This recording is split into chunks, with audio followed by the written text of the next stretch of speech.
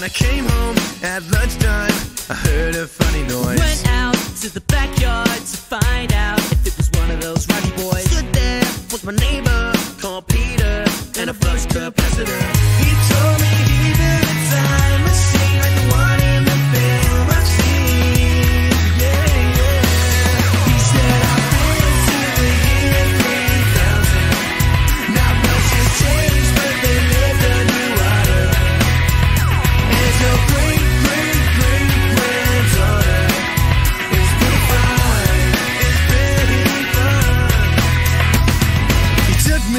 to the future in the flux thing, and I saw everything. Boy bands and another one